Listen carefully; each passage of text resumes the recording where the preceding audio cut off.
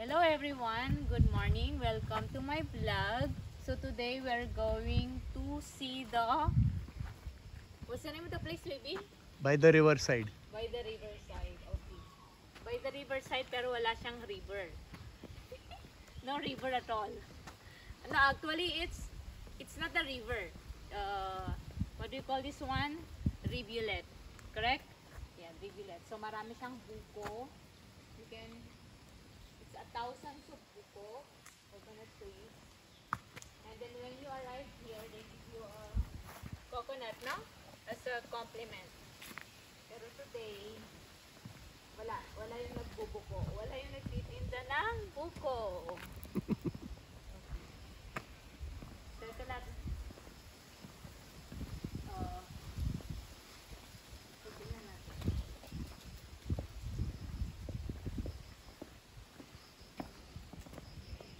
Welcome. Come, come to my... So this, this is their receiving area, right? So ito yung receiving area nila. Meron silang mga books, meron silang flyer like this. Ito, I've seen this. The Malabar bird, right?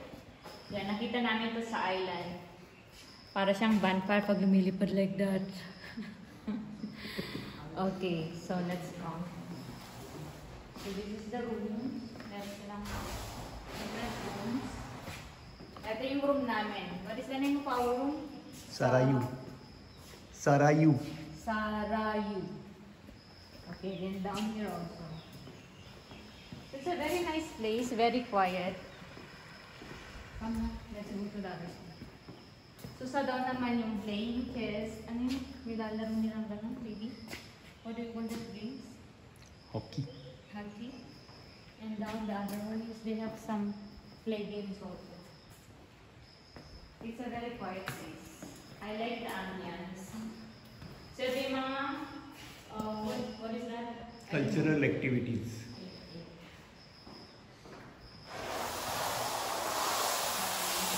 So this is the receiving area. Sir, today farm. Uh, So, So let's go to their uh, restaurant. Doon ang kainan ng maraming pagkain. From breakfast, lunch, and dinner. Okay. and Very tea kadai also. Tea kadai. uh, surrounded with coconuts. Yan, maraming pang buko salad. Di ba sa Pinas, nagluluto tayo ng buko salad, fruit salad, or any kind of coconuts. Ay, ewan, ano ba yung ginagawa natin na ginagamitan natin ng coconut? So, marami dito. So, Don't upo disturb them. lang. ah. They are doing Ha? restaurant. Yeah, the restaurant where we have the breakfast, lunch, and dinner. Ayan. So, maganda siya. Yeah. Very nice. Off na, baby.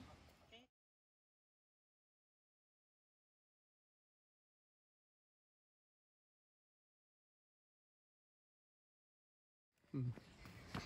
Punta naman tayo sa labas. Merong part, merong part dito na maganda. It's very nice to walk. Especially sa sunset, no baby? What do you call that? Sa road, sa labas. So, pupunta tayo doon, maglalakad. Kasi, and, may popwa din sila dito. Just show the place,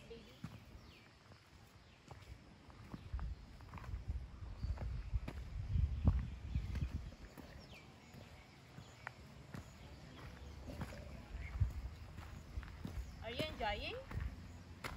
So my cameraman is my my husband. Thank you, baby. He's very supportive with my craziness and my mother's same also.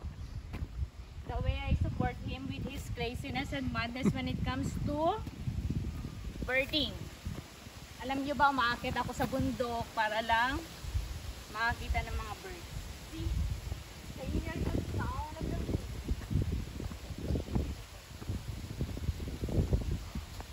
Okay, so pupunta tayo sa labas.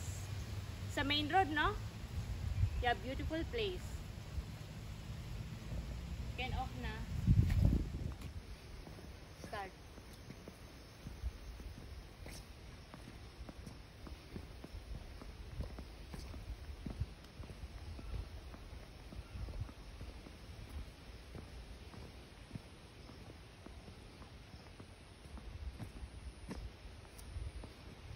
Baby, focus on me, no? You said to go this side, that no, side also. yet, only me. Okay. You, all stop.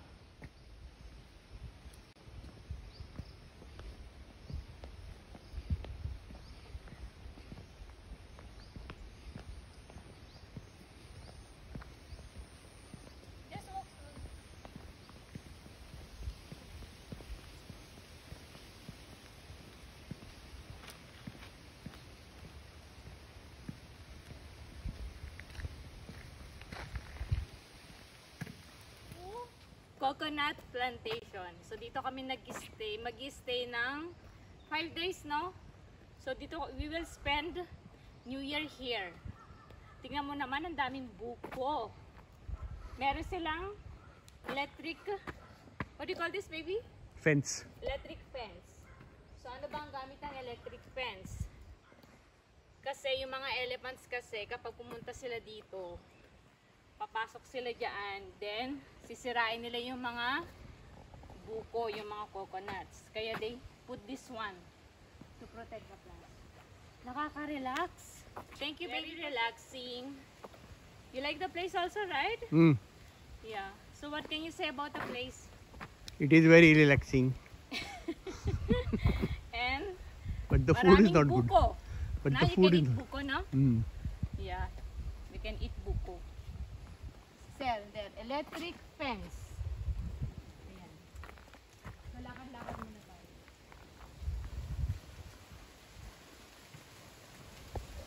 Ang sarap dito maglakad tuwing